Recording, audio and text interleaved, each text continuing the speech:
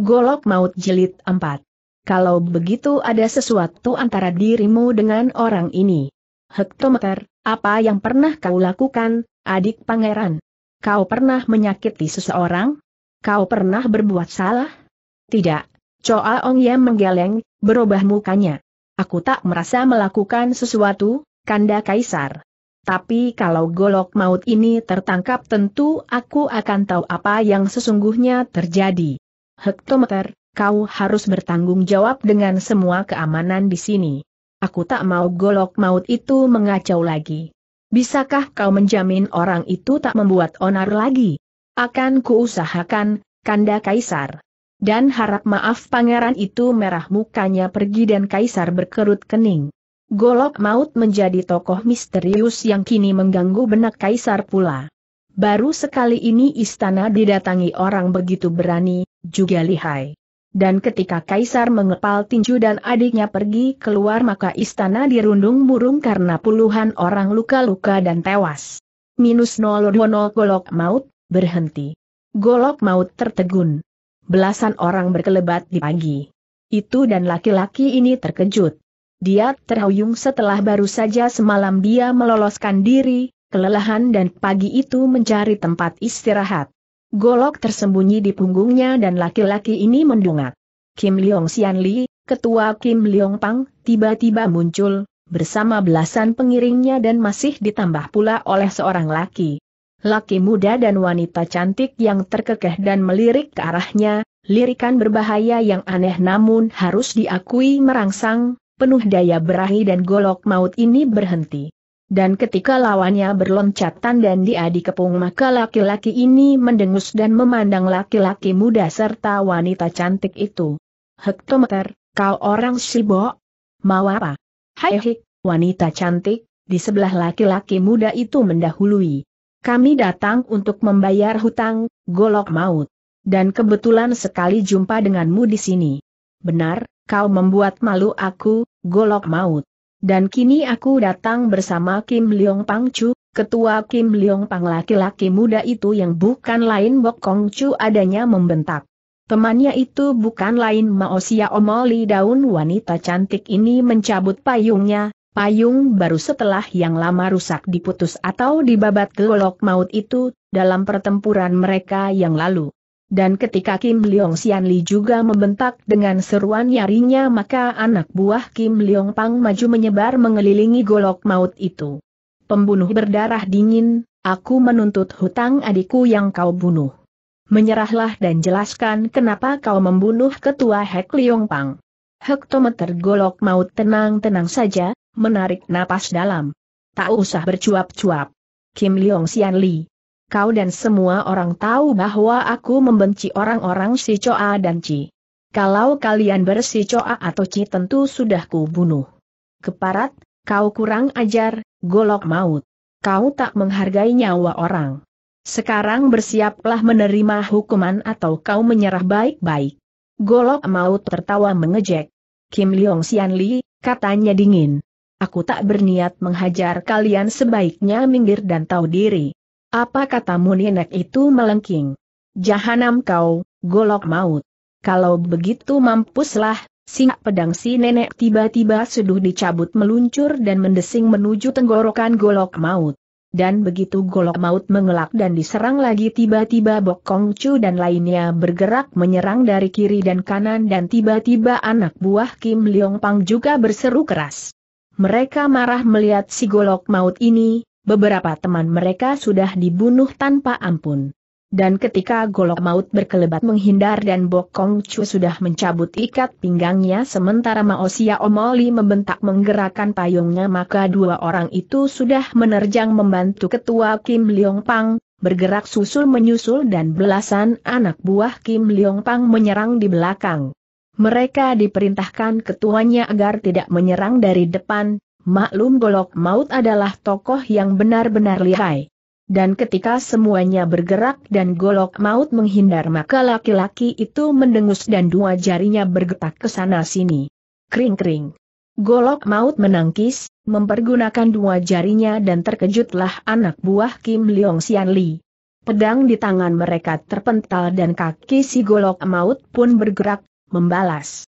Dan ketika tiga di untara mereka terlempar kena tendangan laki-laki itu maka tiga orang ini menjerit sementara yang lain-lain membentak marah, maju menerjang lagi dan Kim Leong Sian Li melengking mempercepat putaran pedangnya. Golok maut akhirnya dibuat sibuk dan harus mengelak sana sini. Dan ketika Bok Kong Chu dan Mao Sia Omoli mengerahkan ginkang, berkelebatan mengelilingi golok maut itu maka payung atau ikat pinggang mulai mengenai tubuh laki-laki ini, tak sempat dikelit. Plak Brad. Mao Omoli dan Bok Kong Chu terbelalak. Sama seperti dulu mereka melihat senjata mereka mental, golok maut melindungi dirinya dan sinkang laki-laki itu mampu mementalkan semua senjata, kebal. Dan ketika pedang di tangan Kim Leong Pang Chu atau ketua Kim Leong Pang pun mental menusuk tubuh golok maut maka nenek itu melengking penuh kemarahan. Keparat, jahanam kau, golok maut. Kubunuh kau. Golok maut mendengus. Kalau saja dia tidak melakukan pertempuran di istana barangkali gerakannya lebih hebat lagi. Laki-laki ini sudah lelah dan sebenarnya dia ingin memulihkan tenaga, Betapapun pertandingannya melawan Pek Moko dan lain-lain cukup menguras, apalagi mereka masih dibantu oleh para perwira atau pengawal, meskipun rendah namun cukup mengganggunya juga. Dan ketika pedang bersama payung atau ikat pinggang naik turun menyambar-nyambar maka golok maut minta agar lawannya minggir. Sebaiknya kalian pergi, atau satu dua orang bakal roboh. Robohlah. Kau besar mulut, golok maut. Mampuslah pedang di tangan Kim Leong Sian Li membabat, bergerak dari atas ke bawah dan nenek itu masih melanjutkan dengan pukulan tangan kirinya. Dan ketika golok maut mengelak namun Bok Kong Chu tertawa melepas sang tok keng tiba-tiba Mao Sia Omoli juga menggerakkan tangan kirinya menghantam golok maut itu. Plak des des. Golok maut agak terhuyung. Tiga lawannya terpekik karena lagi-lagi pukulan mereka membalik. Sinkang yang dikerahkan golok maut masih kuat dan semua pukulan tertolak. Dan ketika Kim Leong Sian Li berteriak marah dan empat anak murid Kim Leong Pang membentak dari belakang tiba-tiba golok maut berputar dan untuk pertama kalinya dia bersikap keras, menyambut dan mencengkeram dan pedang di tangan anak murid Kim Leong Pang itu patah dan ketika golok maut menggerakkan tangannya dan patahan pedang disambitkan ke lawan maka empat orang roboh menjerit dan kepungan pun agak longgar. Krep-krep aduh. Kim Leong Pangcu membentak. Robohnya empat anak muridnya membuat nenek itu geram, membacok tapi golok maut berjungkir balik. Dan ketika empat yang lain lagi menyambut tubuhnya dan laki-laki ini menendang maka pedang kembali patah-patah dan empat orang itu pun terlempar. Des des des. Kim Leong Sian Li semakin marah. Selama ini mereka belum dapat merobohkan lawan, kini golok maut malah merobohkan delapan di antara mereka. Dan ketika nenek itu membentak dan marah menggerakkan pedang maka sekali lagi Mao Sia Omoli dan Bok Kong Chu menyambar, kali ini dari kiri dan kanan. Plak Buk. Mao Sia Omoli terpekik.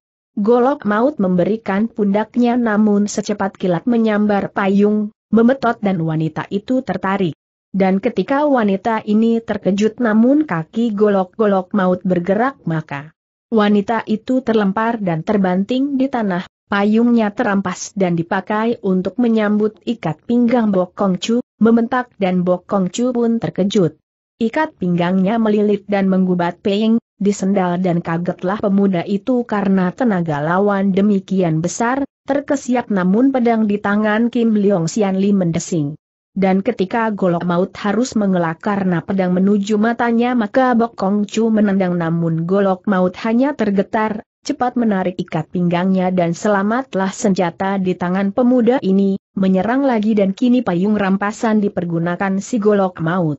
Hebat laki-laki bercaping itu. Karena begitu dia membuka dan menutup payung tiba-tiba lawannya kebuakan dan sebuah tusukan akhirnya merbohkan lagi seorang anak murid Kim Leong Pang, menjerit dan payung kembali menyambar ke kiri kanan. Dua murid Kim Leong Pang terlempar ketika payung membuka, menggaet dan membanting mereka hingga bergulingan. Dan ketika payung menutup dan golok maut membentak maka ikat pinggang dan pedang di tangan Kim Leong Pangcu bertemu senjata aneh di tangan laki-laki itu dan akhirnya dua orang itu pun terbanting. Nah, golok maut berdiri tegak. Kalian masih berani macam-macam lagi, Kim Leong Sianli? Siapa ingin dibunuh? Kim Leong Sianli gentar. Setelah berturut-turut mereka dirobohkan semua dan pedang atau ikat pinggang terlepas dari tangan mereka maka ketua Kim Leong Pang itu menangis. Nenek ini gusar namun gentar. Golok maut jelas terlalu lihai dan luar biasa, mereka bukan lawannya. Dan ketika Mao Sia Omoli juga tertegun dan menjublak melihat senjatanya dipakai golok maut maka laki-laki itu melempar payung setelah sebelumnya dipatahkan menjadi dua mendengus dan tidak ada siapa pun yang berani menghalangi jalannya. Laki-laki itu telah menggerakkan kaki dan membalik. Tapi begitu dia memberikan punggungnya mendadak Bokong Chu dan Maosia Omoli menggerakkan tangan. Ser-ser. Belasan senjata rahasia menyambar.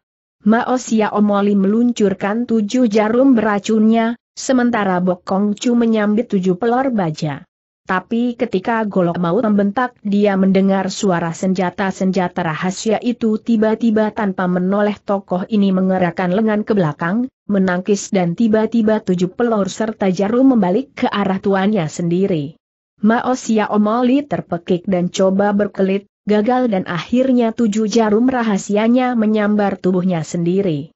Dan ketika wanita itu terpelanting dan mengaduh kesakitan maka Bokong Chu juga mengalami nasib serupa karena pelor-pelor bajanya meledak dan menghantam tubuhnya sendiri. Aduh! Semua orang tertegun. Golok maut malenggang namun akhirnya berkelebat, lenyap dan tidak peduli lagi pada Bokong Chu maupun temannya yang berteriak kesakitan. Sebatang jarum menancap di pipi Maosia Omoli sementara sebuah pelor baja meledak di jidat Bokong Chu, kontan keluar tanduknya dan menjerit-jeritlah dua orang itu. Dan ketika semuanya terbelalak tapi golok maut berkelebat lenyap maka Kim Leong Sian Li tertegun di tempat dan anak murid Kim Leong Pang pun ternganga bengong, dibentak dan menolong yang luka-luka dan akhirnya ketua Kim Leong Pang itu berkelebat lenyap. Mao Omoli dan Bokong Chu akhirnya memaki-maki nenek itu, yang tak peduli pada mereka. Dan ketika semua berkelebat pergi dan dua orang ini menyumpah-nyumpah maka golok maut. Sendiri telah jauh meninggalkan tempat itu mau mencari tempat istirahat. Namun sial. Baru keluar hutan tiba-tiba menghadang dua laki-laki menunggang keledai. Mereka tersenyum-senyum dan menghadang golok maut, memenuhi jalan setapak dan bicara mereka yang sengau membuat golok maut mendongakkan mukanya. Dan ketika dia melihat dua laki-laki berhidung mancung yang kulitnya kehitaman maka taulah dia bahwa dua orang asing mengganggunya di situ. Heh, kau golok maut, anak muda? Yang baru saja membuat onar di istana? Golok maut tertegun, waspada pada kilatan mata yang seperti api, menyambar dan penuh kekuatan berpengaruh. Kalian siapa dia tak menjawab. Kenapa mengganggu orang lewat? Hehe, kami dua bersaudara Mindra dan Sudra, golok maut. Ingin main-main denganmu dan melihat kepandaianmu. Aku tak mengenal kalian, dan barangkali kalian salah menemukan orang. Ha, kau takut? Kami telah mendengar pertempuranmu dengan Kim Leong Sian Li, golok maut, dan kami tahu bahwa kami tak salah mencari orang. Kau layanilah kami Mindra, laki-laki di sebelah kiri tiba-tiba menggerakkan tangan. Tahu-tahu sebuah pukulan menghantam dahsyat dan angin pukulannya baru menyambar tiba setelah dekat, hal yang mengejutkan golok maut karena itu tanda betapa hebatnya luekeh atau tenaga dalam lawannya. Pukulan macam begini biasanya menghancurkan tulang atau daging sebelum orang yang dipukul sadar. Maka cepat mengelak dan menggerakkan tangannya tiba-tiba golok maut menangkis. Duk! Mindra terpental. Laki-laki Tiantok, India, itu berseru kaget, berjungkir balik di atas keledainya namun turun lagi, duduk dengan mata, terbelalak. Dan ketika terdengar pujian kagum dari Sudra, temannya, tampak terkejut maka Mindra melayang turun dan menendang keledainya agar menjauh. Heh, benar dugaanku. Golok maut. Kau liai dan luar biasa. Hektometer golok maut tak senang bersinar-sinar. Aku tak suka mencari permusuhan tanpa sebab yang jelas. Mindra. Minggir dan biarkan aku melanjutkan perjalananku. Ha, mana bisa? Aku terlanjur di sini, golok maut. Tak mungkin kau melanjutkan perjalananmu kalau kita belum main-main. Ayolah, Aku penasaran dan Mindra yang berkelebat dan tiba-tiba menggerakkan kedua lengannya tiba-tiba melancarkan pukulan lagi dan angin panas menyambar. Kedua lengannya bergerak cepat dan tahu dua dalam sekejap saja laki-laki berhidung mancung itu telah menyerang 17 kali, mulai dari kepala sampai ke kaki. Hebat dan cepat dan golok maut menghindar. Lelaki ini berloncatan dan 17 serangan itu pun luput. Dan ketika Mindra membentak dan berseru keras tiba-tiba lelaki itu sudah berkelebat dan mengejar lawannya, dialak tapi pukulan demi pukulan mendesak golok maut, tak mungkin laki-laki itu mengelak saja tanpa menangkis. Dan ketika dua pukulan kembali menyambar dan apa boleh buat golok maut membentak marah maka empat lengan beradu dan golok maut kini tergetar. Haha, bagus. Golok maut. Ayo sekarang kita beradu cepat Mindra mengerahkan kepandaiannya, lenyap. Berkelebatan cepat dan pukulan atau tamparan sudah menyambar-nyambar dari lengan laki-laki ini. Kian lama kian cepat dan juga kuat, golok maut menangkis tapi lagi-lagi dia tergetar. Dan ketika lawan tertawa bergelak sementara Sudra, laki-laki satunya tersenyum dan memuji berulang-ulang maka pukulan hawa panas mulai membakar tempat itu dan daun-daun kering pun berkeritik, seakan dipanggang. HWI Seng Chiang, pukulan bintang api golok maut terkejut, berseru tertahan dan lawannya terbahak-bahak. Mindra memperhebat serangannya dan golok maut pucat. Dia sudah berkali-kali melakukan pertempuran tanpa berhenti, kini menghadapi pukulan-pukulan HWI Seng Chiang dan terdesaklah dia oleh pukulan-pukulan itu. Dan ketika satu saat tamparan lawan meluncur di atas kepalanya tapi Mindra menekuk kelima jarinya tahu-tahu tangan laki-laki itu bergerak dan sudah mematuk kepala golok maut yang dilindungi caping. Brace golok maut terlempar capingnya berlubang dan kagetlah golok maut oleh kelihayan lawan. Dari serangan lurus tiba-tiba Mindra telah merubahnya menjadi serangan mematuk, jadi seperti Raja Wali atau Paruh Garuda, yang menyambar atau menyerang lawan yang tidak menduga. Dan ketika laki-laki itu berkelebat mengejar dan tertawa waka golok maut mendesis mengelak sana sini, menangkis tapi keteter karena ilmu pukulan lawannya sering berganti rupa. Sebentar mematuk tapi sebentar mencengkeram, sekali menampar tapi di waktu yang lain mendorong. Dan ketika Mindra merubah-rubah pukulannya tapi tenaga bintang api tetap dipergunakan laki-laki India itu maka pundak golok mau terpukul lagi dan laki-laki itu terpelanting. Mindra tertawa-tawa. Dari dua pukulannya yang mengenai golok maut laki-laki ini gembira. Golok maut didesak dan apa boleh buat tokoh bercaping ini membentak nyaring. Dan ketika satu pukulan HWI Eng yang kembali menyambar dan pukulan itu siap berubah menjadi jenis pukulan lain tiba-tiba sinar menyilaukan berkelebat mengejutkan Metu dan Mindra berteriak kaget. Keras. Laki-laki itu melempar tubuh bergulingan. Golok maut, yang menggigil dan kelelahan oleh pertempuran berkali-kali telah menunjukkan kelihayannya yang ditakuti orang, mencabut golok di punggungnya dan putuslah kuku jari di tangan lawannya. Mindra hampir terbabat buntung dan laki-laki India itu kaget bukan main, berteriak keras dan untung menarik cepat tangannya tadi. Dan ketika laki-laki itu meloncat bangun dan golok maut berdiri dengan muka merah maka tokoh ini berkata dengan golok sudah lenyap di punggungnya. Nah, jangan memaksa aku. Mindra. Sekali aku mengeluarkan senjata maka jarang yang dapat menyelamatkan diri. Hentikan main-main ini dan jangan saling mengganggu. Mindra tertegun. Tadi laki-laki India itu melihat berkelebatnya sinar golok, begitu terang dan menyilaukan mata. Dia kaget karena itulah senjata ampuh yang bukan kepalang tajamnya, angin sambarannya saja sudah membuat bulu romanya bangun berdiri. Tapi begitu dia tertegun dan hilang kagetnya tiba-tiba orang ini tertawa bergelak dan mencabut senjatanya, tombak pendek bermata dua, seperti negala. Haha, hebat kau. Golok maut, katanya. Tapi justru main-main ini semakin memikat diriku. Senjatamu luar. Biasa sekali, barangkali karena itulah kau dijuluki golok maut. Baiklah, aku belum kapok dan masih ingin melanjutkan. Kalau aku kalah biar saudaraku maju membantu, Wud dan tombak atau nanggala di tangannya yang mendesing tajam tiba-tiba bergerak dan laki-laki itu melompat, berkelebat menyerang lawannya dan kini Mindra mengajak pertempuran bersenjata. Golok maut mengerutkan kening dan mengelak, marah tapi mengakui kebandelan lawan. Orang-orang Kang Ou memang biasa begitu, tak mau sudah kalau belum betul-betul dihajar.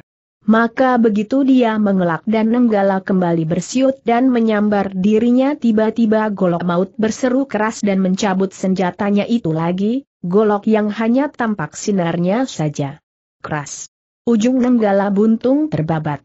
Untuk kedua kalinya tokoh India itu dibuat kaget, berseru keras dan menyerang lagi, membalik senjatanya.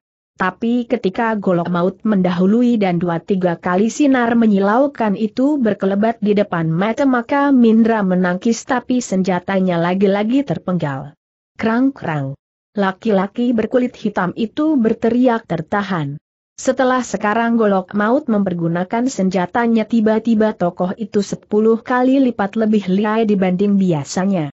Golok di tangannya itu hanya tampak berkeredap dan putuslah senjatanya, Mindra melompat mundur dan berseru berulang-ulang. Dan ketika golok maut kembali berdiri tegak dan senjatanya yang luar biasa itu telah lenyap di belakang punggung maka laki-laki India ini mengusap keringat dan terhuyung dengan muka pucat. Kau, siluman.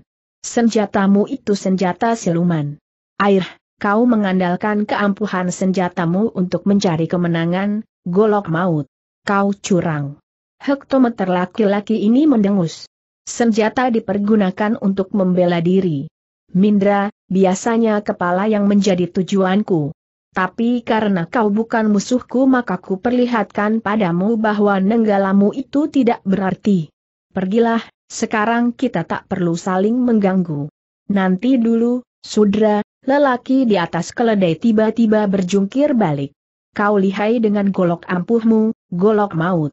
Tapi kami ada dua orang di sini, biarlah kami lampiaskan penasaran kami dan kau hadapi kami berdua. Tar cambuk baja meledak di tangan laki-laki ini, entah dicabut dari mana dan Mindra berseru girang. Tadi temannya hanya menonton dan tidak bergerak, kini turun dan ingin mengeroyok si golok maut itu, yang ternyata menjadi lihai luar biasa setelah mencabut goloknya, senjata yang ampuh itu. Dan ketika Sudra sudah menggoyang tubuhnya dan tertawa meledak-ledakan cambuk maka golok maut tertegun mengerutkan kening. Sudra, aku tak ingin memusuhi kalian. Kalian orang asing. Kenapa mendesak dan menekanku seperti ini? Kalau aku tak lelah boleh saja kalian maju tanpa senjata, Sudra. Tapi sekarang ku minta kalian mundur dan lain kali saja kita bertanding. Haha, kepalang jumpa di tempat ini, golok maut. Kepalang basah bertemu denganmu. Ayolah, aku belum merasakan ketajaman golokmu dan biar ku cicip pitar. Tar cambuk itu meledak kembali, semakin nyaring suaranya dan Mindra mengangguk-angguk. Memang dia terkejut tapi belum kapok, kawannya masih ada di situ dan mereka dapat maju berbareng. Dan ketika golok maut menjadi marah namun laki-laki India itu tak peduli tiba.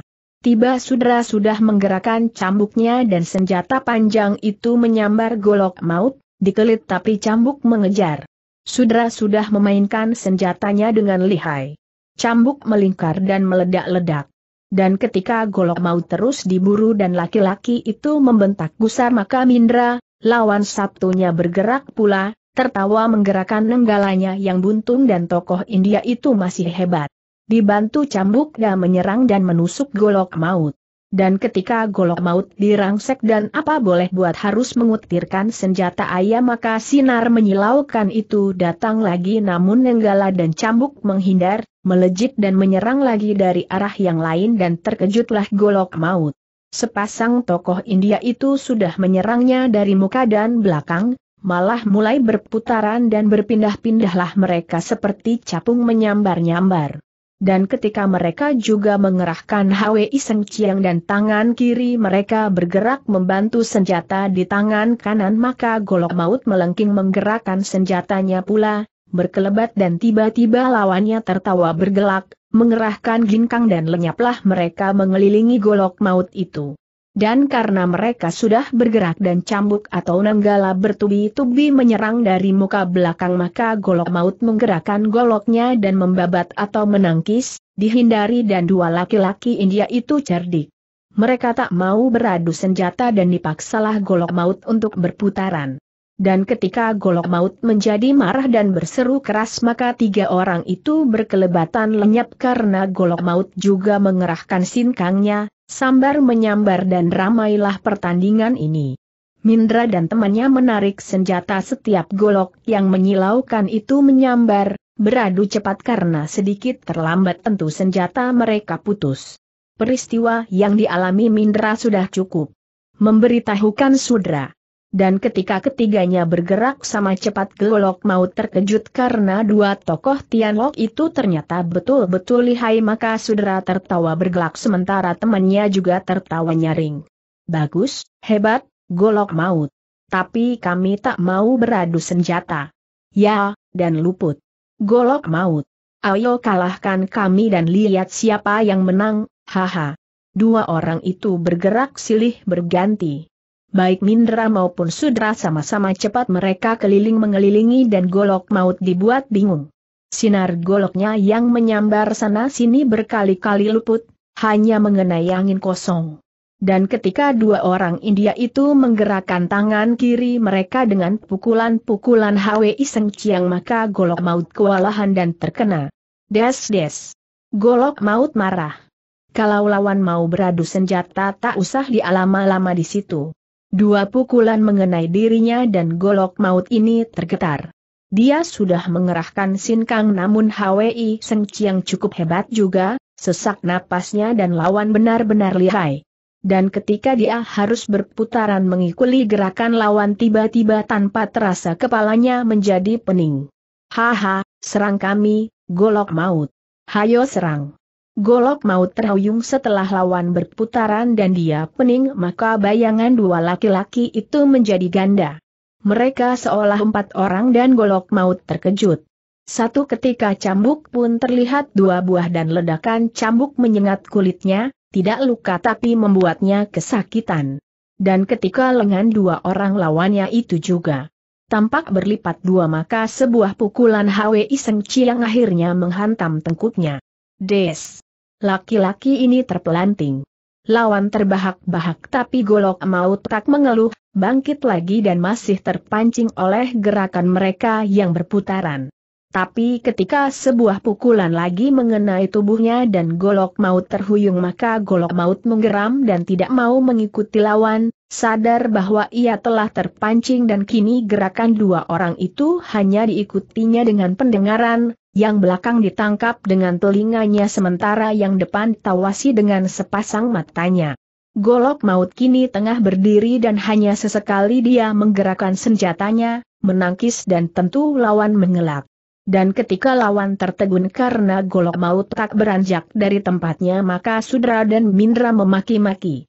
Heh, seranglah kami. Golok maut. Ayo bergerak dan jangan seperti banci. Benar, menunggu adalah perbuatan wanita golok maut. Hayo ikuti kami dan seranglah kami. Tidak, golok maut mendengus. Kalian mengakali aku, Sudra. Kalau ingin menyerang seranglah, aku bertahan dan coba kalian robohkan aku. Tapi sikapmu seperti wanita. Tak perlu banyak cakap. Robohkan aku dan sambut senjataku, Mindra. Atau kalian pergi dan jangan banyak tingkah di sini Wut, Sing gerakan si golok maut luput. Nenggala menyambar tapi cepat ditarik kembali ketika sinar menyilaukan itu berkelebat. Sekarang dua laki-laki India ini marah-marah karena mereka tak mampu memancing. Lawan. Golok maut menunggu dan ketajaman goloknya itulah yang akan menumbangkan mereka. Dan karena golok maut hanya diam sementara mereka terus berkelebatan kian kemari maka golok maut dapat menarik napas dalam sementara dua laki-laki itu memburu napasnya karena banyak serangan yang gagal atau memang digagalkan. Keparat, hayo bergerak, golok maut. Menyeranglah tidak, kalian yang ingin menyerang. Sudra. Kalianlah yang bergerak dan biar aku menangkis. Tapi golokmu yang keparat itu, Sudra memaki-maki. Kau mengandalkan senjata bukannya kepandaian, golok maut. Kau pengecut dan licik. Hektometer yang licik dan pengecut adalah kalian. Sudra. Kalian mengeroyok dan menghadapi orang yang sudah lelah. Iiuah dan Sudra yang tak dapat bicara lagi tiba-tiba. Membentak dan berkelebat di belakang, menjeletarkan cambuknya namun golok maut menggerakkan senjatanya ke belakang, mendesing dan terpaksa Sudra menarik kembali serangannya. Dan ketika Mindra ganti menusukkan nenggalannya namun golok maut mendengus maka senjata itu kembali bergerak dan keduanya sama-sama luput mengenai angin, napas Mindra dan temannya memburu sedangkan golok maut agak lega. Dia hanya menggerakkan senjata ke kiri atau ke kanan dan lawan-lawan Ai itu pun menarik serangan mereka begini berulang-ulang. Dan ketika keringat membasuh dahi dua orang itu dan Mindra menyumpah-nyumpah tiba-tiba berkelebat bayangan lain dan Kim Leong Sian Li muncul lagi dengan teman-temannya, Bokong Chu dan Mao Sia Omeli. Hai hik, kami bantu kalian, Sudra. Memang golok maut ini harus dibunuh. Serser Mao Sia Omeli menimpukan jarum-jarum beracunnya, disusul kemudian oleh Bokong Chu yang melempar pelor-pelor baja. Sekarang golok maut tak dapat menampar balik senjata-senjata rahasia mereka, karena Mindra dan Sudra tetap melancarkan serangan-serangannya. Jadi terpaksa golok maut menangkis atau mengelak senjata-senjata rahasia itu. Dan ketika jarum atau pelor runtuh ke tanah namun mereka menyerang lagi maka Kim Leong Moli juga melepas pisau-pisau kecil sambil menerjang ke depan, lebih gagah, berteriak dan membentak membantu dua laki-laki itu dan Mindra serta temannya terbelalak. Mereka tak senang dan melotot, Sudra mau mengusir ketua Kim Leong Pang itu dengan kebutan lengannya. Tapi ketika Mindra mencegah karena bagaimanapun bantuan itu berguna bagi mereka maka golok maut sudah dikeroyok tiga orang sementara Bokong Chu dan Maosia Omoli licik menyerang dari luar, menyambit-nyambitkan senjata rahasia dan anak murid Kim Leong Pang yang lain mengganggu pula dari luar. Dan ketika semuanya itu membuat sibuk golok maut dan apa boleh buat dia terpaksa bergerak dan berkelebatan menghindari hujan serangan lawan maka golok maut membentak menangkap jarum atau pelor-pelor yang berhamburan, diretour dan menjeritlah enam orang murid Kim Leong Pang yang terkena timpukan balik ini, disusul lagi oleh teriakan yang lain ketika pisau Kim Leong Sian Li ditampar dan mengenai mereka. Dan ketika berturut-turut hal itu malah menguntungkan golok maut karena bantuan yang lebih rendah biasanya akan menyulitkan yang lebih tinggi maka Mindra dan Sudra terkejut, tentu saja gusar karena mereka malah kacau sendiri. Jarum dan pelor bahkan ada yang terpental ke arah mereka, ditangkis dan berhamburan bertemu golok maut, hal yang membuat mereka naik darah dan akhirnya menyuruh orang-orang itu mundur. Namun ketika anak-anak murid Kim Leong Pang masih ada yang nekat dan mereka mengganggu dari luar maka Sudra menggerakkan cambuknya dan tiga murid Kim Leong Pang terlempar. Keparat kalian, minggir. Kim Leong Sian Li marah. Melihat anak muridnya dicambuk Sudra nenek itu melengking, memaki tokoh India ini. Tapi Sudra yang mendengus dan menjeletarkan cambuknya malah balas memaki dan membentak nenek itu. Kau harus tahu diri, Kim Leong Sian Li. Kepandaianmu masih belum dapat menandingi golok maut. Pergilah atau kau pun kuhajar. Keparat, kau memaki aku. Jahanam, ku bunuh kau, Sudra. Dibantu malah tak tahu diri dan nenek itu yang balik menyerang Sudra dan meninggalkan golok maut tiba-tiba menusukkan pedangnya dan laki-laki ini menyampok, pedang terpental miring namun Kim Leong Sian Li menyerang lagi.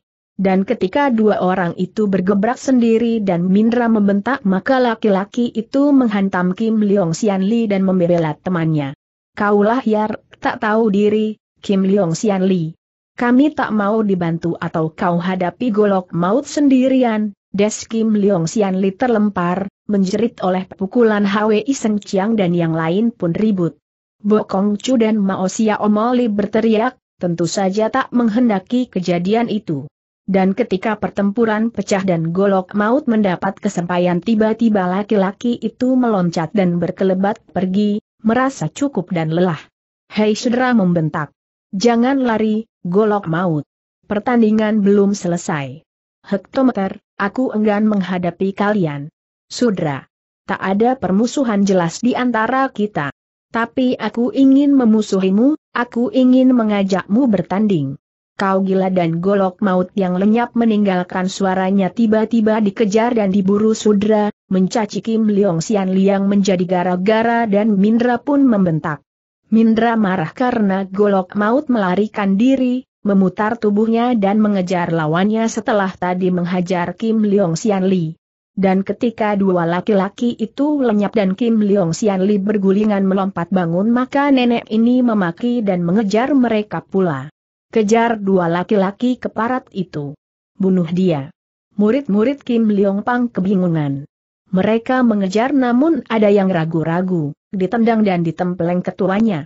Dan ketika semua berkelebatan dan bokong cu saling pandang. Halaman 30-31 ga ada.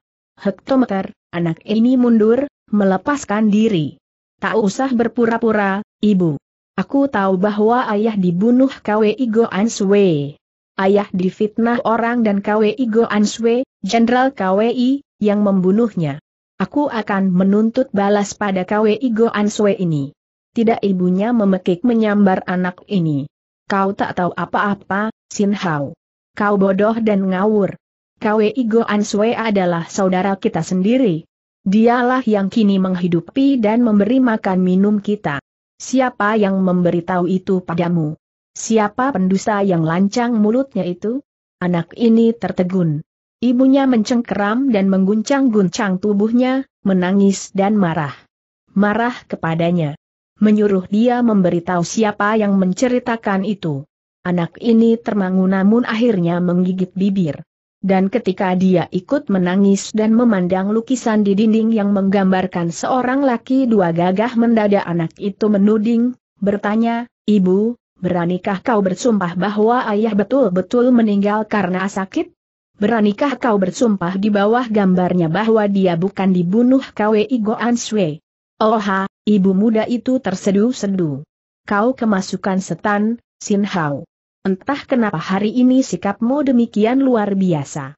Kau anak kecil tak tahu apa-apa, sebaiknya dam dan jangan berkata seperti itu kepada ibumu. Ibu tak berani bersumpah untuk apa? Tanda petik. Yakinkan hatiku bahwa ayah bukan dibunuh KWI. Goan Swe, ibu.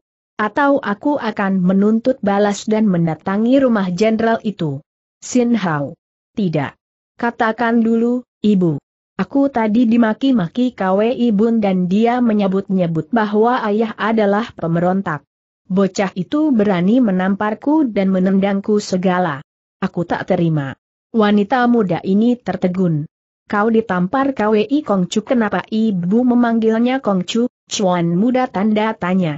Bukankah dia adalah saudara sendiri kata ibu? Wanita ini menutupi mukanya. Beradu pandang dengan putranya yang demikian keras dan tegas tiba-tiba wanita ini teringat mendiang suaminya, laki-laki gagah yang terpampang gambarnya itu.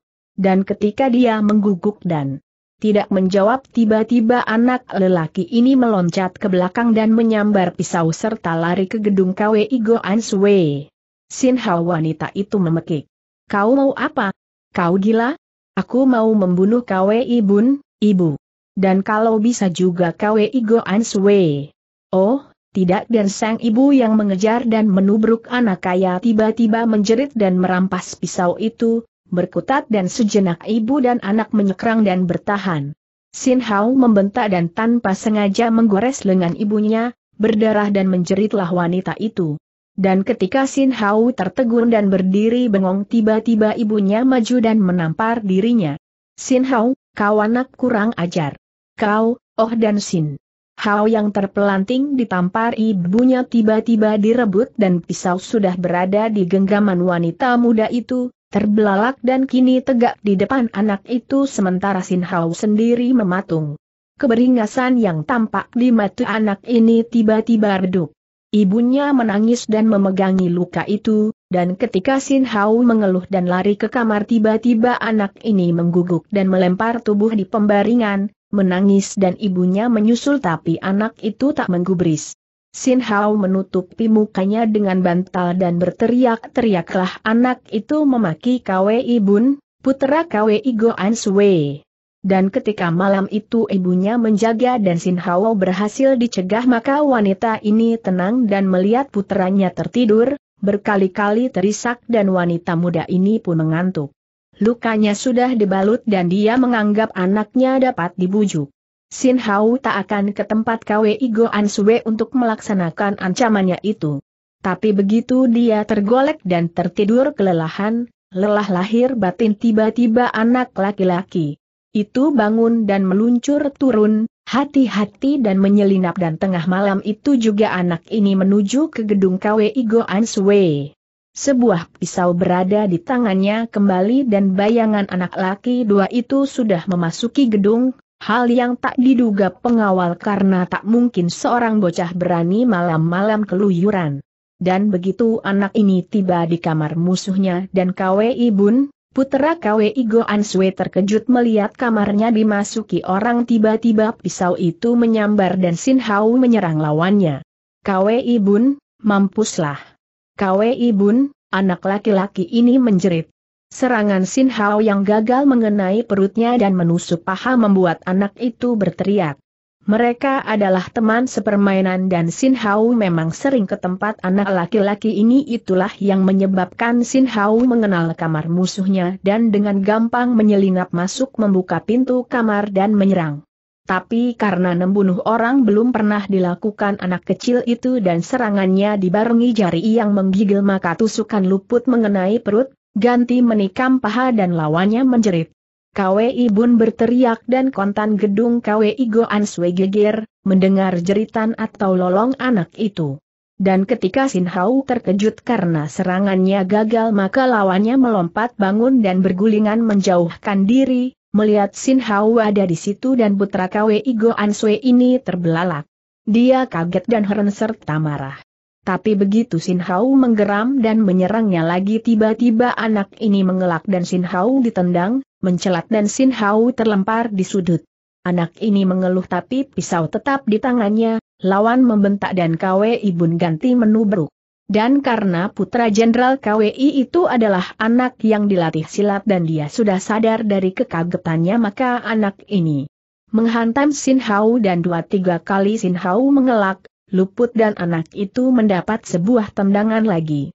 Meskipun kecil tapi putra KWI Go Answe itu cukup hebat, gerak-geriknya tangkas dan Sin Hao terbanting lagi, melawan tapi bocah ini mengeluh. Setelah Kwe Ibun terbangun ternyata dia tak dapat menghadapi musuhnya itu. Dan ketika Kwe Ibun menghajarnya dan berkali-kali anak itu memakinya maka Sin Hao roboh terlempar dan pisau akhirnya terlepas, roboh terbanting bersamaan dengan munculnya sesosok bayangan tinggi besar. Bluk! Bayangan ini telah berkelebat datang. Seorang laki-laki bermuka keren membentak masuk, pakaiannya kedodoran menunjukkan ketergesa-gesaannya dan persis Sin Hao mengeluh di lantai maka orang ini, yang bukan lain Kwe Igo Answe adanya membentak. Kwe Ibun, apa yang terjadi? Ada apa dengan bocah ini? Sin Hao mau membunuhku, ayah. Dia datang dan menyerang dengan pisau Kwe Ibun, anak laki-laki itu memberitahu.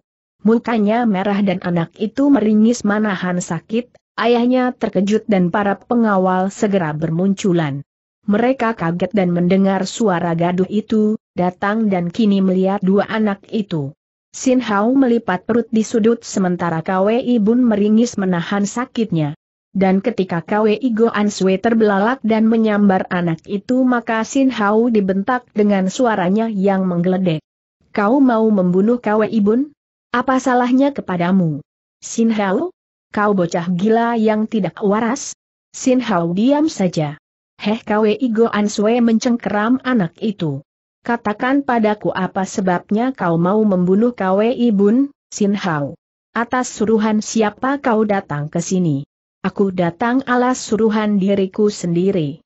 Aku mau membunuh Kwe Ibun karena dia menghina dan menamparku Sin Hao akhirnya menjawab, tak kenal takut.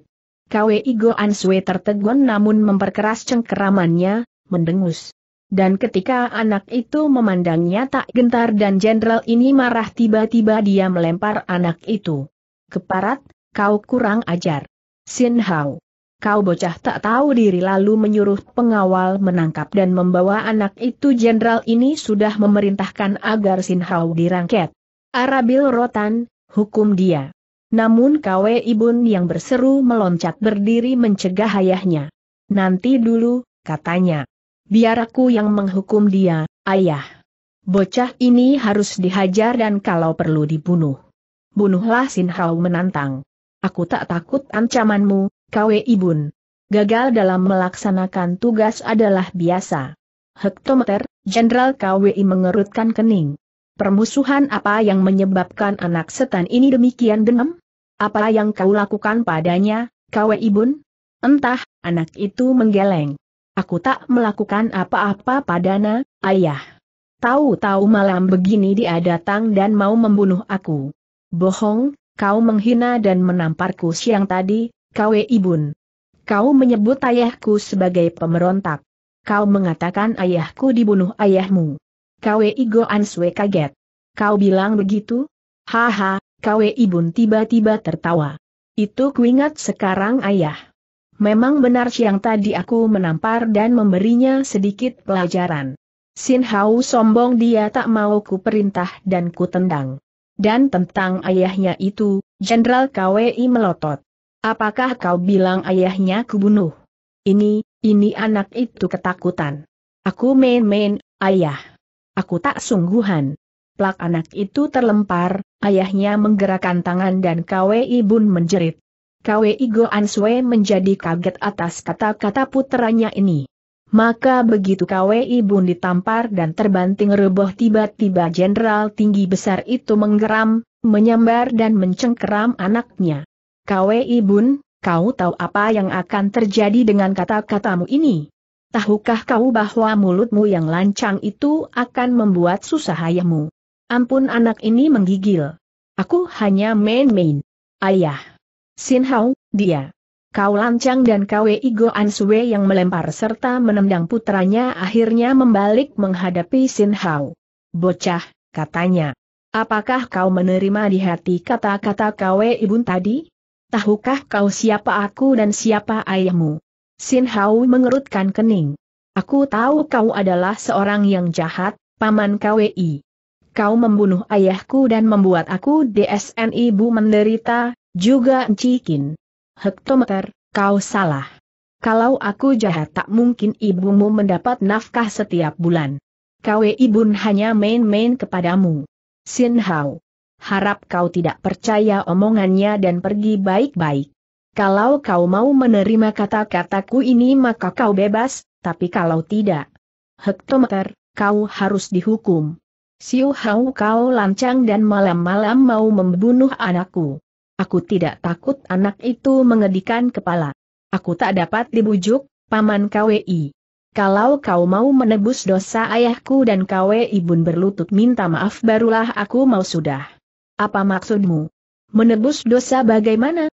Kau kembalikan nyawa ayahku atau kau menggantinya dengan jiwamu sendiri? Keparat jenderal itu membentak. Kau jahanam tak tahu diri, Sin Hao. Kalau begitu kau enyah dan biar pengawal merangket tubuhmu, Des dan Kwe Igo Ansue yang menendang anak itu hingga mencelat akhirnya marah-marah dan menyuruh pengawal menangkap anak laki-laki itu, membawanya ke belakang dan muka jenderal tinggi besar ini merah. Dia gusar bukan main atas kekurang ajaran anak itu. Dan ketika dia memberi tanda agar anak itu dihabisi jiwanya maka Kwe Igo Answe berkelebat dan memasuki kamarnya sendiri. Bedehah. Keparat kutuknya berkali-kali. Kau persis ayahmu, Sin Hao. Kau anak pemberontak yang tak tahu diuntung dan membanting pintu kamar menyuruh pengawal menghajar anak itu maka Sin Hao menjadi bulan-bulanan di belakang. Dua pengawal menyeretnya dan anak itu dimaki-maki. Sin Hao dibawa menjauh dan pukulan serta tendangan kembali mendarat di tubuhnya, tidak mengaduh dan pengawal mengambil rotan, baru anak itu mendesis dan Sin Hao menahan sakit dan ketika pengawal membawanya ke sumur dan anak itu mau dibunuh dengan jalan dilempar ke sumur mendadak KWI Bun muncul. Nanli dulu, serahkan padaku anak itu berkelebat, membuat pengawal tertegun tapi mereka tertawa. Anak kecil ini adalah majikan mereka, putra KWI Goan Sui. Maka ketika Kwe Ibun berseru dan minta agar Sin Hao jangan dilempar dulu anak ini sudah berdiri di depan lawannya merampas pemukul dari pengawal di sebelah kiri. Sin Hao, bentaknya malam-malam kau datang untuk membunuh aku. Dan gara-gara kau aku mendapat pukulan dari ayahku. Katakanlah hukuman bagaimana yang kau inginkan sebelum kau dilempar ke sumur? Hektometer, Sin Hao mengejek. Tak perlu banyak bicara, Kwe Ibun. Aku kalah dan tertangkap. Kalau kau ingin membunuhku bunuhlah, aku tak takut dan boleh apa saja kau lakukan terhadapku. Kalau kau minta aku mengatakan sesuatu maka yang keluar dari mulutku adalah makian untukmu. Kau jahat dan sewenang-wenang, pengecut. Apa Kwe Ibon memukulkan rotan? Aku pengecut dan sewenang-wenang. Apa buktinya? Buktinya cukup, Kwe Ibun. Kau mengandalkan ilmu silatmu untuk menindas aku. Mentang memang aku tak bisa silat maka kau sering mengganggu dan menghina aku. Haha, itu salahmu sendiri. Sin Hao. Kalau kau menurut dan tunduk kepadaku tentu aku tak akan mengganggumu. Kaulah anak tak tahu diri, sudah diberi makan masih juga menggigit majikan. Eh, aku ingin menyiksumu dulu Sin Hao membalas tendangan ayah gara-gara kau, Des dan Kwe Ibun yang menggerakkan kaki menendang anak itu tiba-tiba membuat Sin Hao terlempar dan jatuh di dekat sumur, dikejar dan Kwe Ibun tertawa-tawa menggerakkan rotannya. Kini alat pemukul itu mendera Sin Hao dan bak buklah tubuhnya dihajar rotan Kwe Ibun berseru agar lawannya mengaduh, menangis. Dan memitna minta ampun. Tapi ketika Sin Hao menggigit bibir dan anak itu sama sekali tak menangis atau mengaduh maka Kwe Ibun terbelalak dan anak ini melotot, menghajar muka lawannya dan pecahlah mulut Sin Hao dihajar rotan. Anak itu terpelanting namun tetap saja Sin Hao tak berteriak, sekuat tenaga anak ini menahan sakit dan air matanya sajalah yang bercucuran, menahan pedih dan tubuh yang seakan remuk. Dan ketika dua pengawal tertawa-tawa dan mereka justru gembira oleh perbuatan Kwe Ibun tiba-tiba muncul seorang gadis yang menjerit di situ. Sin Hao. Kwe Ibun. Apa yang kalian lakukan? Oh, kau menghajar Sin Hao? Kau menyakiti adikku? Tahan, Kwe Ibun, tahan dan seorang gadis yang terseduh dan menangis di situ tiba-tiba menahan gerakan Kwe Ibun dan gadis ini meloncat menubruk Sin Hao, mengguguk dan marah sekali kepada Kwe Ibun. Dua pengawal tertegun dan tiba-tiba mereka menyeringai. Dan ketika gadis itu mendekap Sin Hao dan Kwe Ibon memberi tanda tiba-tiba dua pengawal itu maju dan sudah mencengkeram pundak gadis ini. Hwe Akin, mundurlah. Biarkan adikmu menyelesaikan urusannya dulu dengan KWI Kongcu. Keparat gadis itu meronta. Kalian jahat, pengawal kalian mendiamkan saja perbuatan Kwe Ibun kepada adikku. Aku akan melapor ini pada Kwe Igo Answe. Haha, pengawal tiba-tiba tertawa. Justru Kwe Igo Answe yang menyuruh kami di sini. Hwe Akin. Sin Hao hendak membunuh Kwe Kong Chu dan membuat onar. Apa? Tanyalah adikmu, pengawal itu mengejek, bersinar-sinar. Adikmu yang kurang ajar ini hendak membunuh. KWI Kongcu, Hwe Akin. Dan sebagai buku mana mestinya dia juga dibunuh. Tidak, Oh dan Hwe Akin yang membalik menghadapi Sin Hao bertanya, pucat, suaranya menggigil, Sin Hao, benarkah kau hendak membunuh KWI Bun? Apa yang kau lakukan di sini? Dia menghina aku dan ayah, Enci. Kwe Ibun mengatakan ayah pemberontak. Dan ayahnya membunuh ayah kita. Aku datang memang untuk membunuhnya, membalas dendam. Metu yang bening itu terbelalak, kian lama kian lebar dan Hwe Akin tiba-tiba mengeluh. Dan ketika dia gemetar dan semakin pucat memandang adiknya tiba-tiba gadis ini membalik, menghadapi Kwe Ibun, putra Kwe Igo Answe itu. Kau bicara seperti itu? Kau, kau mengatakan ayah dibunuh. Hektometer KW Ibun, anak laki-laki itu menyeringai. Kepalang basah bermain-main, Hwe Akin. Ayahmu memang dibunuh. Dia pemberontak, kalian anak pemberontak. Dan karena Sin Hao mau membunuhku maka adikmu harus dibunuh pula. Kalian mewarisi darah pemberontak, kau pun kutangkap dan harus menyerah. Haha, dua pengawal tiba-tiba maju ke depan. Kalau begitu serahkan gadis ini kepada kami, Kongcu. Kami tahu bagaimana caranya menghukum pemberontak. Tidak Hwe Akin tiba-tiba menjerit mundur mendekap adiknya. Aku tak percaya, Kwe Ibun. Kau mengada-ada dan bohong. Tanyalah ibumu, anak itu tertawa mengejek. Ibumu tahu Hwe Akin. Tapi menyembunyikan hal ini pada kalian. Tentu saja itu disembunyikan karena ayahmu pengikut Chiwen, raja yang tumbang itu. Gadis ini terkesiap. Chiwen adalah nama yang amat dibenci penguasa sekarang Li Koyung. Semua orang tahu tapi akhirnya Chiwen mati terbunuh. Pengikut-pengikutnya lari dan tersebar di mana-mana, disebut pemberontak dan tentu saja nama itu tahu bagi istana, dikejar dua dan banyak yang dibunuh. Maka begitu ayahnya, disangkutkan dengan nama ini dan Kwe Ibun tertawa mengejek maka anak laki-laki itu menggerak-gerakan rotan dan merasa sebagai penguasa menang angin dan anak ini sombong sekali. Tapi karena gadis itu tak tahu apa-apa dan masalah perang bukan urusannya maka dia terhuyung tapi dapat menetapkan hati, membentak anak itu. Kwe Ibun, kau lancang dan kurang ajar. Tahukah kau siapa ayahmu dan ayahku? Dari mana kau mendapatkan semuanya ini? Aku tak percaya, kau ibun dan juga tak peduli. Apa yang dilakukan orang tuaku kami tak tahu dan seharusnya tak usah kau menghina kami. Aku akan menemui ayahmu dan meminta keadilannya. Haha, nanti dulu, anak itu menghadang. Ayah terlanjur marah aku membuka rahasia ini, Hwe Akin. Kau tak usah ke dalam dan biar di sini saja kau kutangkap dari akan ku permainkan dulu. Wu Xin Hao, yang tiba-tiba berteriak mendadak menubruk ke depan menerjang lawannya. Menyuruh uncinya pergi dan Kwe Ibun serta gadis itu terkejut. Hwe Akin terpekik namun Kwe Ibun tertawa lebar, berkelit dan karena Sin Hao sudah babak belur dan anak itu lemah maka sekali menggerakkan kaki tiba-tiba Sin Hao mendapat pendangan dan anak itu roboh tersungkur dan dua pengawal kini bergerak. Mereka menubruk Hwe Akin yang berteriak melihat adiknya mendapat tendangan. Bangkit dengan susah dan mau ditolong, tapi begitu dua pengawal menerkamnya dan Kwe Ibun tertawa berkelebat ke arah lawannya maka Sin Hao terlempar ketika kembali kaki anak itu bergerak, disusul ayunan rotan dan terdengarlah suara buk yang keras. Hwe Akin menjerit histeris, dua pengawal memegangi tubuhnya dan jari-jari mereka menggerayang, meraba dan terkekeh-kekeh dan Sin Hao melotot.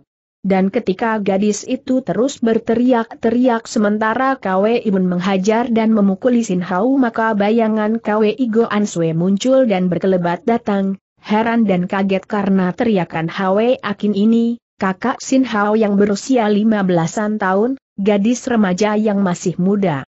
Dan begitu jenderal itu berkelebat dan kaget melihat Sin Hao belum dibunuh maka laki-laki tinggi besar ini menjadi semakin kaget lagi dengan melihat adanya Hwe Akin. Berhenti jenderal itu mengibas pengawalnya. Apa yang kalian lakukan, pengawal busuk?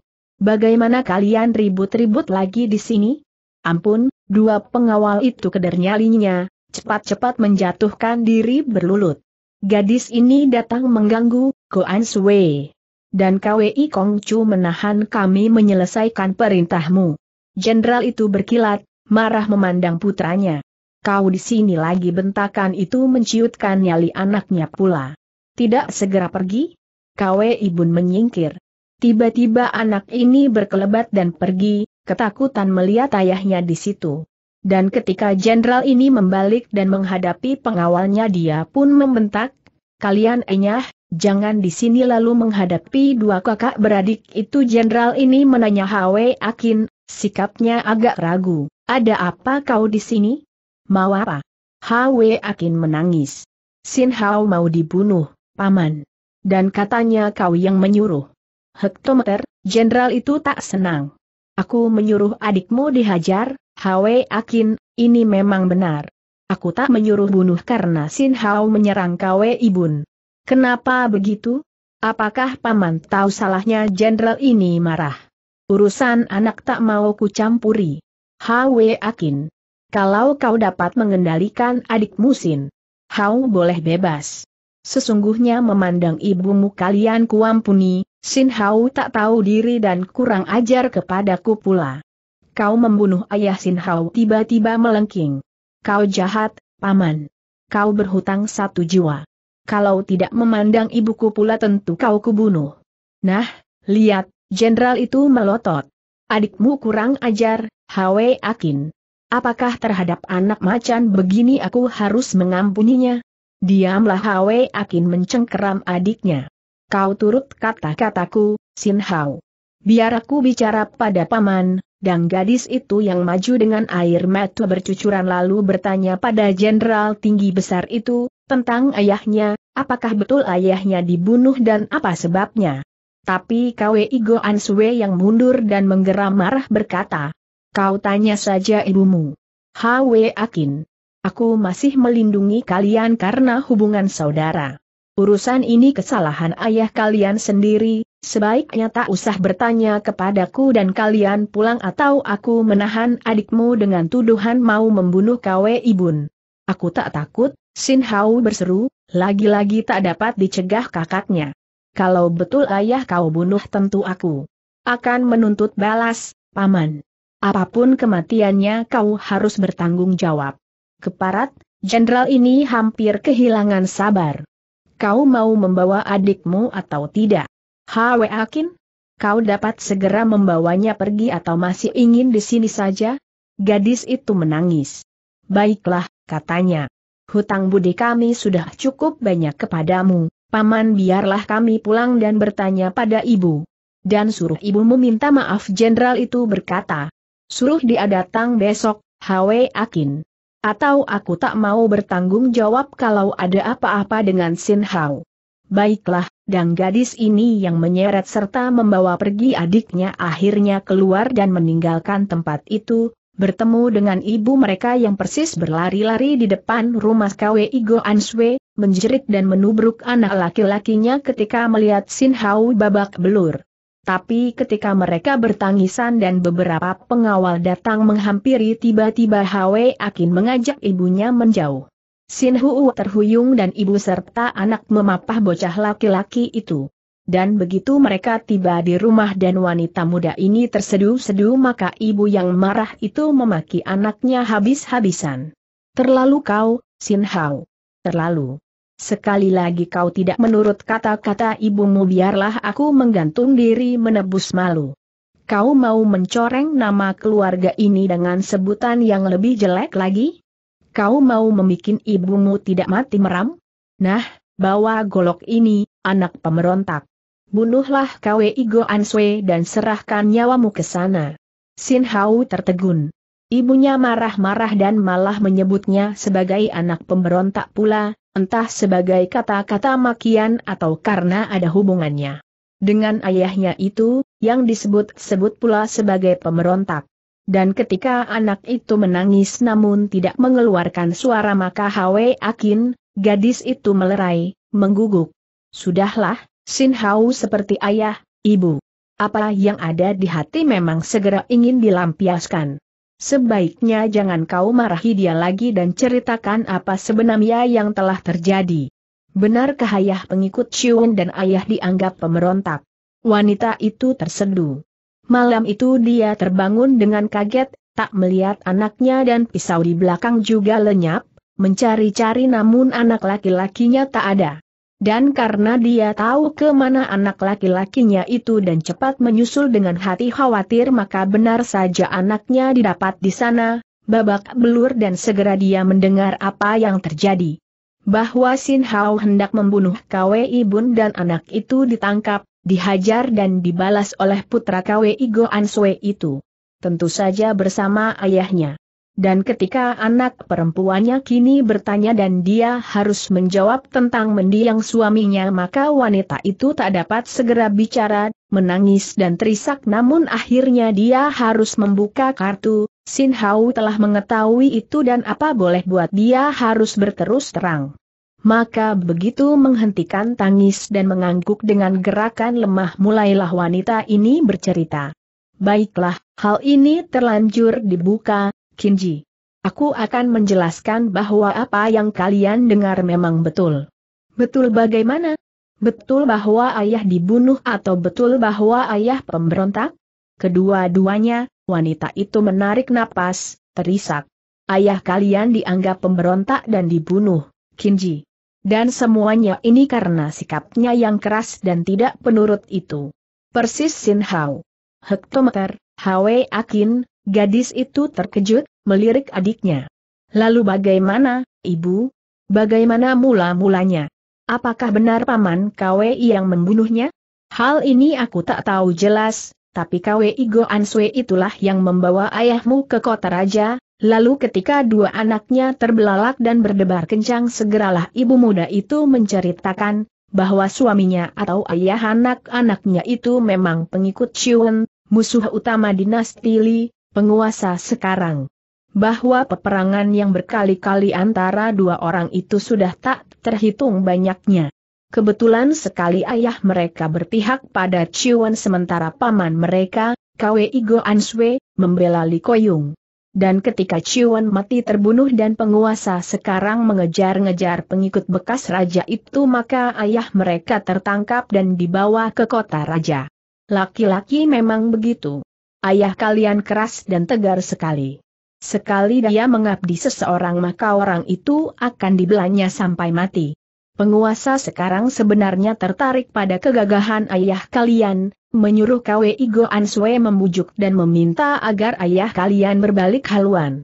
Tapi ketika ayah kalian malah memaki-maki dan marah-marah menghina musuh maka Kwe Igo Answe tak sabar dan akhirnya disuruh membawa ayah kalian ke kota raja, dibunuh. Siapa yang membunuh Sin Hao yang diam dan tak pernah bicara mendadak bangkit berdiri, bersinar-sinar, bertanya pada ibunya dan jelas tampak betapa dendam amat menguasai hati anak laki-laki ini. Ibunya terkejut dan encinya mengerutkan kening, kenekatan dan kebandelan anak itu membuat sang ibu menatap tajam, teringat. Mendiang suaminya. Dan ketika anak itu tampak terkejut oleh tatapan mata ibunya maka ibunya bertanya, Sin Hao, kau sayang ibumu atau tidak? Kau mencinta ibu dan encimu atau tidak? Anak ini tertegun. Penguasa sekarang kuat kedudukannya. Sin Hao. Melawan pun tiada guna. Ayahmu tewas dalam mempertahankan prinsipnya sendiri. Aku sebenarnya tak menaruh dendam karena semua yang terjadi sudah diketahui akibat dan resikonya, seperti kalau misalnya Chiun tak terbunuh dan pengikutnya menang. Apa maksud ibu anak perempuannya bertanya? Maksudku meneng atau kalah membawa akibatnya. Masing-masing, Kinji. Kalau ayahmu menang barangkali. Pamanmu Kwe Igo Answe itulah yang akan dikejar-kejar, dibunuh. Tapi karena ayahmu kalah dan junjungannya terbunuh maka itulah akibat yang harus diterima dan ini adalah wah. Halaman 56 sampai 57 juga ada. Sungguh-sungguh. Ingat, kau satu-satunya lelaki di sini. Sin Hao. Dua perempuan tanpa adanya lelaki sungguh menyusahkan kami. Kalau kau terbunuh dan kami tinggal sendiri sama halnya kau membiarkan ibu dan kakakmu menderita sepanjang hidupnya. Kau mau mendengar nasihat ibumu agar tidak memusuhi keluarga KWI lagi? Anak itu diam, sorot matanya berapi-api. Kau tak dapat menerima nasihat ini? Maaf, anak itu mengeretakan gigi. Bagaimana kalau KWI Bun menghina aku lagi, ibu? Apakah aku harus merdiamkannya saja dan tidak melawan? Jauhilah anak itu. Sin Hao. Jangan dekati dan cari permusuhan dengannya. Baiklah, aku turut nasihatmu, ibu. Dan mudah-mudahan dia tidak menggangguku. Dan besok kau ikut aku ke KWI Go Answe, minta maaf anak itu diam.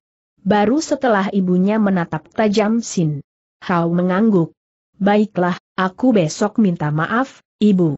Dan kau minta pula agar Kwe Ibun tidak menggangguku besok akan kuberitahukan Kwe Igo Answe.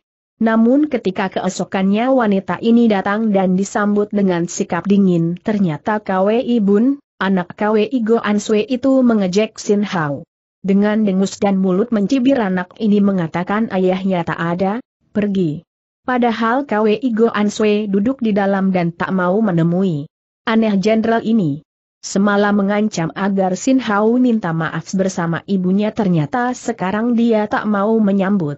Hal yang disambut dengan lapang dada oleh wanita itu. Tapi ketika mereka mau pulang dan Kwe Ibun menghadang tiba-tiba anak ini berkata agar ibu dan anak itu kembali lagi siang harinya. Ayah belum mendengar maaf kalian. Sebaiknya kembali lagi siang nanti dan Sin Hao di sini dulu. Wanita itu tertegun. Kongcu ada urusan apa? Eh, Sin Hao harus melakukan pekerjaan sehari-harinya, Bibi. Kalau tidak kudaku tak mendapat rumput. Tapi Sin Hao sakit. Haha, alasan untuk menghindari pekerjaan? Tidak, kalian sudah makan minum di sini, Bibi. Imbalan sudah diberikan lebih dulu dan Sin Hao harus bekerja. Atau aku akan memanggil pengawal dan Sin Hao kutahan. Kwe ibun wanita itu membentak. Kau tidak menghargai aku? Kau tidak melihat bahwa Sin Hao seperti ini. Hektometer, bocah Iui berkacak pinggang. Kau mulai merubah sebutan, Bibi. Apakah ini warisan suamimu yang suka memberontak itu? Kau tidak melihat siapa aku siapa dirimu. Sin Hao harus bekerja Bibi. Atau muntahkan semua makanan dan minuman yang telah dia dapat dari sini. Wu Sin Hao tiba-tiba menerjang, tak kuat lagi. Jahanam keparat kau. Kawe Ibun. Kau menghina dan mempermainkan ibuku namun Kawe Ibun yang mengelak dan berkelit lincah tiba-tiba menggagalkan serangan itu dan berseru mengejek lawan, diterjang dan mengelak lagi dan Ibu Sin Hao menjerit-jerit. Keributan ini mengundang pengawal dan segera wanita itu berteriak agar Sin Hao tak menyerang. Tapi ketika pengawal sudah berdatangan dan Kwe Ibun menggerakkan kaki tiba-tiba lawannya terlempar dan anak itu tertawa bergelak. Haha tak menang kau melawan aku, Sin Hao. Terimalah ini untuk jiwa pemberontakmu. Das Sin Hao terbanting jatuh terguling-guling dan ibunya menjerit. Wanita ini menubruk namun pengawal meloncat ke depan. Dan ketika Sin Hao mengaduh dan bangkit terhuyung maka dua batang tombak melekat di dada wanita itu. Minggir, anakmu mengacau lagi. Sin Hujin, Nyonya Sin. Biarkan KWI Kongcu menghajar dan menyelesaikan anakmu. Tidak wanita itu berteriak lepakan dia, pengawal. Lepaskan tanda seru dan mendorong serta berani melawan pengawal tiba-tiba wanita itu menubruk anaknya, memeluk dan menangis sejadi-jadinya dan Sin Hao menggigit bibir. Mulutnya pecah lagi ditendang lawannya tadi, ibunya menangis dan bukan main sakitnya hati Sin Hao.